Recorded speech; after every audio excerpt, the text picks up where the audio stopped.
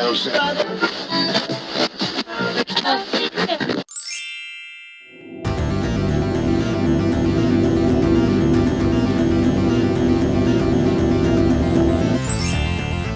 guys, welcome to another episode of Rick Creating Art. Um, today I bring you a custom figure that I created myself. Uh, this is a what if figure. What if Broly um, became a Super Saiyan 4? Um, this is what I think he will look like, and this is what I came up with. Um, all this is custom made. The tail, all this fur, this is all um, epoxy uh, clay or epoxy clay. Um, I created all this, all the muscle tone, everything. Um, as far as articulation goes, everything works exactly the same as it would in the original character. The original character was a Figure-rise Standard character. This is the guy I built. This is the um, a Figure-rise Standard uh, Build-A-Figure that I had. And I thought well it would would it be cool if I created him as a Super Saiyan 4 it probably actually made it to a Super Saiyan 4 if you figured out how to become a Super Saiyan 4 and this is what I came up with. Um, all the details in there. That's his fur. I airbrushed uh, all the paint in there so I thought this would be cool. As far as articulation goes uh, everything works exactly the same as a standardized figure.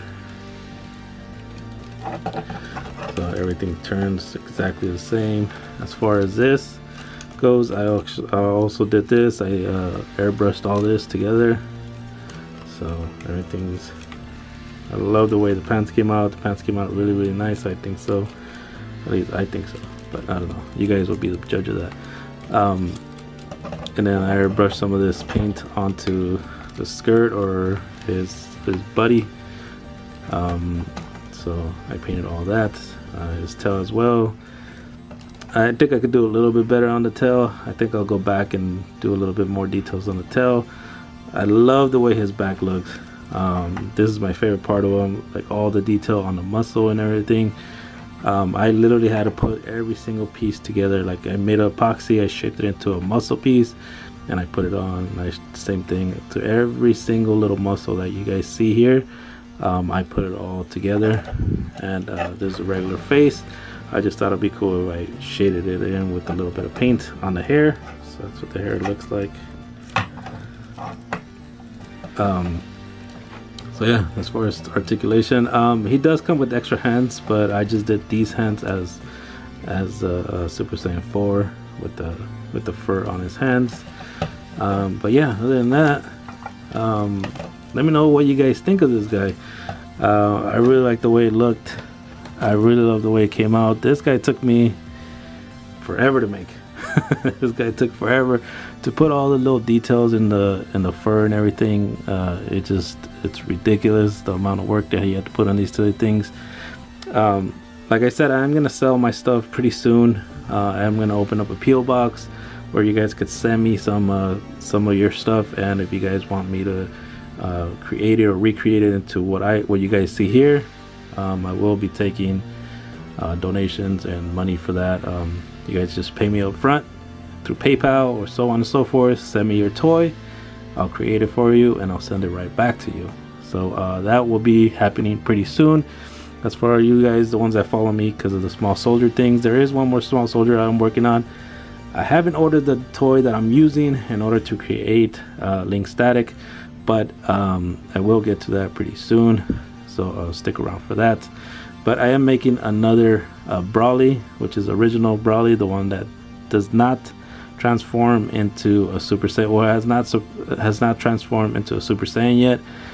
So uh, I am working on the original Broly uh, with uh, extra pieces that I've been doing, and it's all custom made.